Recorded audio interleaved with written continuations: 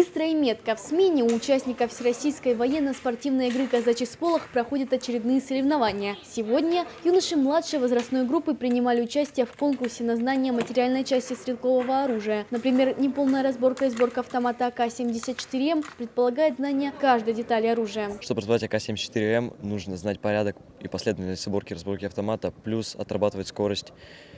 Э, Ну, еще мне так кажется, что нужно знать одновременно и теорию, чтобы это тоже как бы шло в плюс и отрабатывать это на автомат. Мы готовились месяц, потому что команда из семи человек была уже готова, добавили только троих, их надо было всему учить.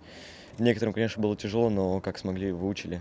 Хорошо, пацаны молодцы, все выучили. Также казачата соревновались в меткости. Восемь выстрелов из пневматической винтовки и результат на лицо. Сменовцам нужно поразить 6 мишеней. Для пристрела дается три попытки. В лично-командном зачете побеждает команда, набравшая наибольшее количество очков. Важно пройти эту дисциплину на отлично. Каждый казак – это будущий защитник Отечества. В будущем э, большинство, э, скорее всего, парней будут идти в армию, и им там очень понадобится, потому что э, на уровне тех, кто впервые будет держать э, ружье, это будет уже опыт. Я не буду стрелять точнее, чем новобранцы. У нас э, военно-патриотический круг «Орлят» есть. Мы занимаемся там уже около пяти лет, можно сказать. Вот. И ну, у нас занятия каждую неделю одно проходит. Ну, занимаемся мы каждый день. Для меня э, главное, ну, верить в, се- в себя и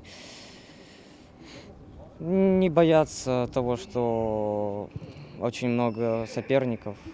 Главное, как говорится, участие, а не победа. Как отметили судьи соревнований, уровень подготовки участников растет с каждым годом. С каждым годом уровень выступления в этом виде спорта, конечно, улучшается.